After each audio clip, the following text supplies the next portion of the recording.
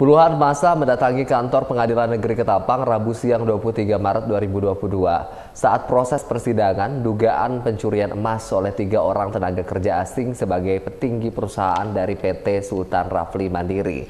Kedatangan masa ini untuk memberikan dukungan kepada jaksa penuntut umum serta majelis hakim dan sejumlah saksi yang diharapkan dapat memberatkan hukuman bagi para terdakwa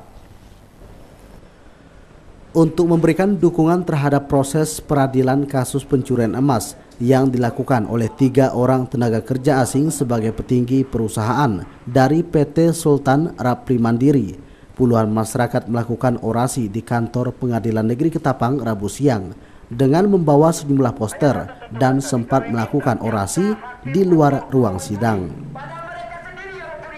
Sebelumnya diketahui seluruh TKA ini telah ditangkap oleh Mabes Polri dan langsung dipindahkan ke lapas kelas 2 Ketapang untuk menjalani proses persidangan di Pengadilan Negeri Ketapang.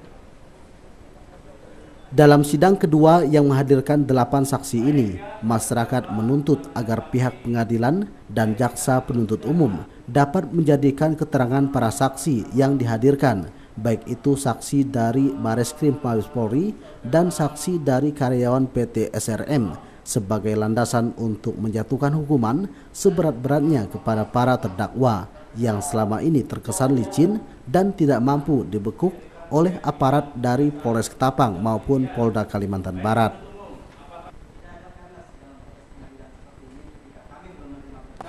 Uh, harapan besar kami kepada saksi yang dihadirkan di dalam persidangan.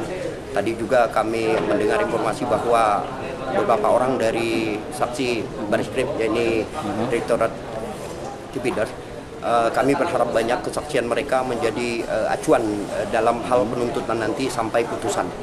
Kami menganggap bahwa apa yang dilakukan oleh TKA Cina yang sudah merampok, kami anggap merampok sumber daya alam kami di Ketapang dan juga merugikan uh, negara dalam hal ini uh, tentang pajak ya. Salah satu tokoh masyarakat Ketapang yang juga turut hadir dalam aksi ini mengatakan seluruh masyarakat mengharapkan agar seluruh petinggi perusahaan yang terlibat juga ditangkap oleh aparat penegak hukum yang selama ini sangat meresahkan masyarakat khususnya masyarakat sekitar perusahaan yang pernah dituduh sebagai pelaku pencurian emas pada saat aksi penyerbuan di lokasi perusahaan tahun 2020 lalu. Pelaku e, pencurian emas ini sebenarnya bukan cuma tiga orang. Ya, tiga orang ini kan hanya aktor yang ada di lapangan, tapi di balik ini juga ada pelaku-pelaku lain, khususnya ini Sultan Rapi Mandiri ini kan ada direktur, ada direktur utama.